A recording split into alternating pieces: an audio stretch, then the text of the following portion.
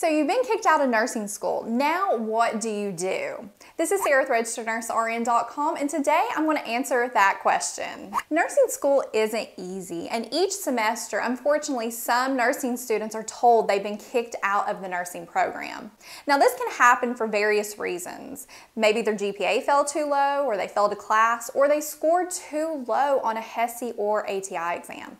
Whatever the reason is though, it's very heartbreaking and confusing. Because on one hand, the person wants to be a nurse, but on the other hand, they start to question, am I really called to be a nurse? So what should an aspiring nurse do next? First, what you want to do is you don't want to feel defeated and fall into the cycle of depression because it's perfectly normal to feel confused and depressed when you fell out of nursing school. You're probably going to feel like a wide variety of emotions, like you're going to feel dumb, you're going to feel embarrassed because here's these people you went to nursing school with, they're passing and they're going on. And you're stuck here with this setback and you don't know what direction to take. Also, you may feel like life is pointless and you don't know what you have to offer the world. And these are really lies that we tell ourselves whenever we have a major setback in life. So what you want to do is you want to take some time to vent about it, cry about it, and pray about it. Plus, you want to take some time to eat your favorite junk food, sit around, binge watch your favorite show, and grieve about this because that is how we deal with things as humans whenever we have major setbacks in life but you don't want to stay in this pattern and you don't want to engage in destructive behaviors either. So have your down moment and then pick yourself back up and remind yourself that you have purpose in life. You have talents and gifts that other people don't have that you can take and give back to the world and accomplish great things.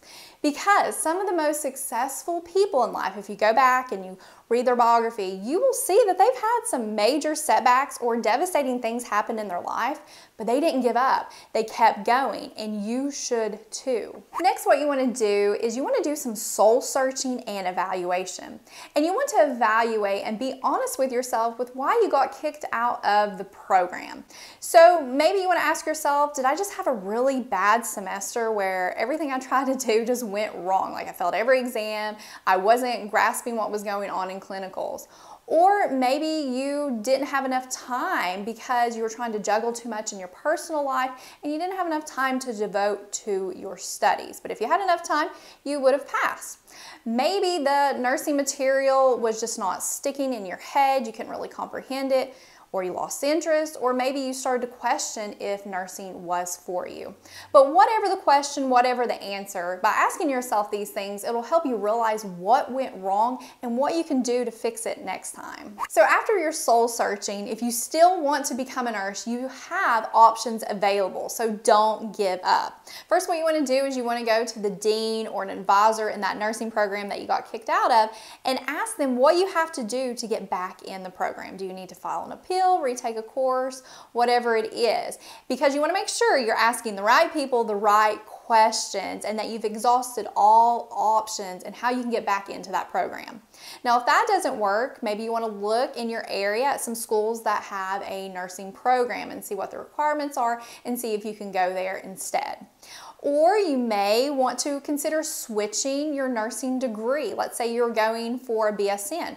Maybe you could switch to an ADN program or become an LPN because whatever route you take, you can become a nurse, work as a nurse, and then if you want to further your nursing degree, you can do that in the future. And these programs tend to be a little less expensive and shorter, but you still have options. Now let's say that you've decided that nursing is not for you, but you love healthcare and you love helping others. So what should you do?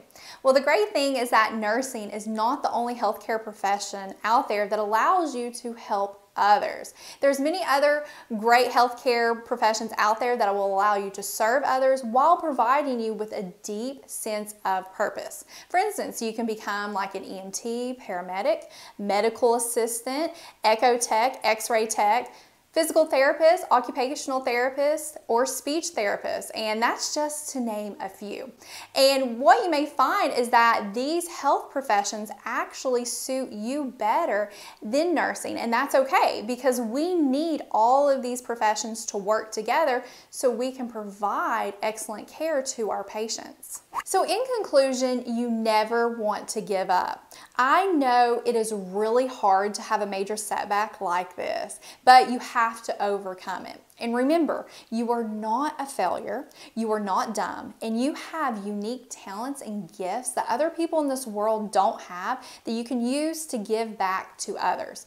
Because I have worked with some really great nurses that have failed out of a program, they were held back a semester, or they even failed NCLEX a couple times, but they're still an excellent nurse. And when we set out to become a nurse, we all have the same destination, become a nurse. But it takes some of us, we have to travel down different roads to get there, or we may even be detoured and it takes us a little bit longer than others to actually get to our destination. But regardless, we want to become a nurse. So pick yourself back up and work hard to accomplish the things that God has set out for you to do. Thank you so much for watching and don't forget to subscribe to our channel for more videos.